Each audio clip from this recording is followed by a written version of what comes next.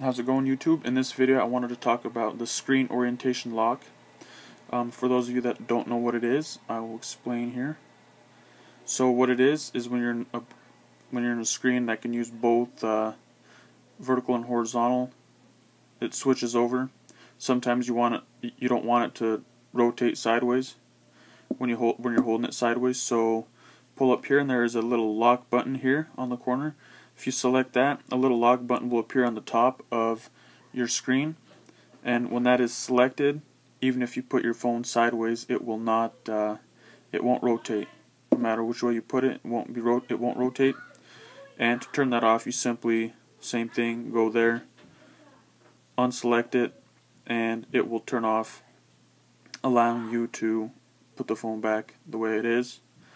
Um, if you're still on the old Windows, or if you're still on the old iOS for the on the phone all it is here it is it's the same thing.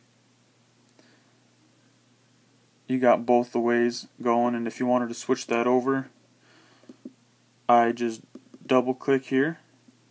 Whoops.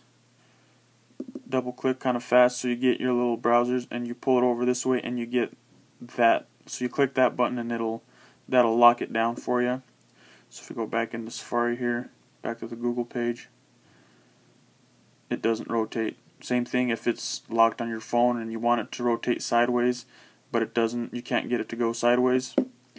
Double check up top if there's that lock with the circle in it, that means you are you are locked.